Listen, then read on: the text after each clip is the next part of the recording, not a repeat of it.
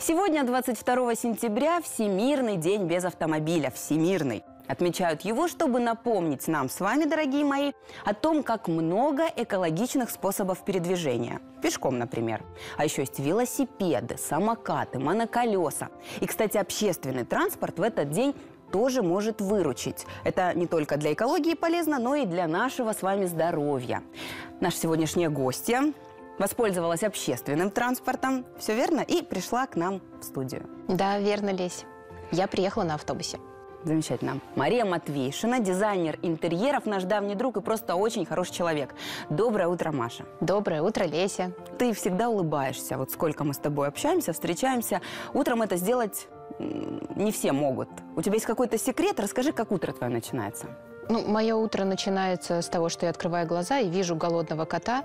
Его нужно покормить, его нужно погладить, но затем я уже займусь собой, своим кофе и Утро так не с кофе все-таки, утро с Не с кофе, нет. Маш, ну ты видишь, у нас обновилась студия. Как тебе? Мне нравится. Мне нравится цвет дивана, нейтральные стены. И мне нравится, как вы здесь поработали с цветом. Вы использовали яркие подушки, которые задают э, радостное настроение для утра. Утреннее такое радостное Да. настроение. Давай сегодня о цвете тогда с тобой и поговорим. О цвете в интерьере. Только не о каких-то глобальных вещах, да, а вот о деталях, которые могут разнообразить пространство и, самое главное, избавить нас от долгого и дорогого ремонта. Ну вот как раз-таки подушки, они могут стать тем, э, той палочкой-выручалочкой, которая поможет обновить э, интерьер без затрат. Но вообще цвет и понятие изучения цвета – это целая наука, колористика, которая задает определенные сочетания, которые могут быть, которые не могут быть. Есть законы определенные, Конечно, да, есть которые они. нужно соблюдать, ну, Есть. или пытаться. Да. Есть то, что лучше не сочетать. Все очень относительно. Я могу сказать, что мне не нравится одно вот сочетание, которое я просто терпеть не могу, это красный и розовый. Но при определенном подходе, э, в определенной тональности и насыщенности этих цветов они вполне могут ужиться. Но тут вопрос именно в оттенках и вот э, в нюансах, так скажем. К примеру, да, вот с помощью подушек, с помощью цвета можно изменить стилистику комнаты. Легко. Я хочу это продемонстрировать, потому что я с собой э, притащила несколько подушек разных цветов, чтобы показать вам, как такой базовый диван э, нейтральной обивки мы можем превратить э, в разные по настроению такую деталь интерьера. Ты мне поможешь в этом? Конечно, помогу. Что делать? Так, попираем для начала вот эти ваши яркие, Яркие. сочные подушки. И сейчас сделаем... Возьми вот эту желтую, да. Ставь так же, как и я, симметрично. И мы добавим вот эту фиолетовую акцентную подушку, как такую вот изюминку. То есть желтый и акцентный фиолетовый. Это комплементарное сочетание цветов. Это А, что значит? то есть они э, находятся на разных сторонах э, цветового круга. Круга. То есть они противоположные, но при этом они замечательно сочетаются. И создают такое настроение Кому бодрящее. подойдет такой диван? Ну, я думаю, что, в принципе, любой семье он может э, подойти, потому что он в целом спокойный, но вот эта вот фиолетовая подушка дает такой немножко То есть интригу. универсальный вариант. Да, вполне. Что еще? Меняем. Давай теперь сделаем вот эти серые подушки. Держи серую, держи синюю. Так же, как я, тоже ставь. То есть э, тоже симметрично. Серая, синяя и акцентная синяя подушечка. То есть это у нас получается такой диванчик, э, ну, я бы сказала, для мужчины.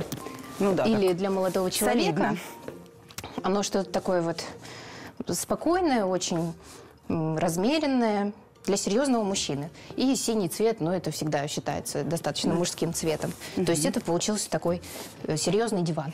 Выбираем.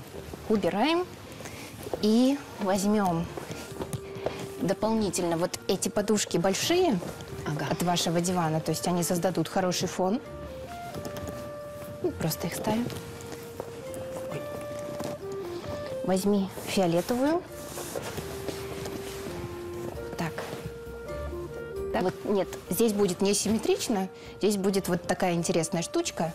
А, это у нас э, розовый, фиолетовый и такой вот пушистик, который делает, ну, диван, что ли, там, для инстаграмной девчонки. То есть для молодой, активной. Да, здесь у нас аналоговое сочетание, ну так тоже называется на круге, то есть цвета идут по порядку, розовый, фиолетовый, и они тоже между собой хорошо сочетаются.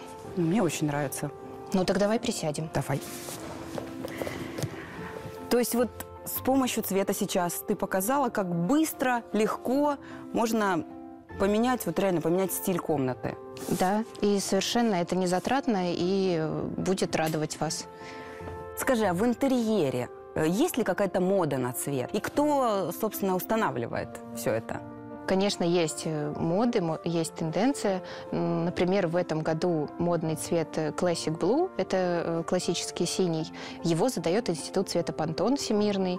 И на следующий год пока неизвестно, что будет, но сейчас вот классический синий. Ну, я смотрю, синего у нас нет, к сожалению.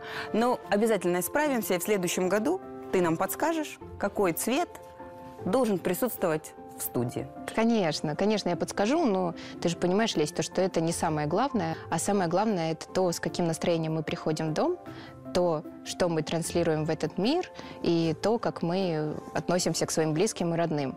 Поделись своей доброй энергетикой с нашими зрителями. Пусть ваше утро будет ярким и радостным, ведь от этого зачастую зависит наше настроение на целый день.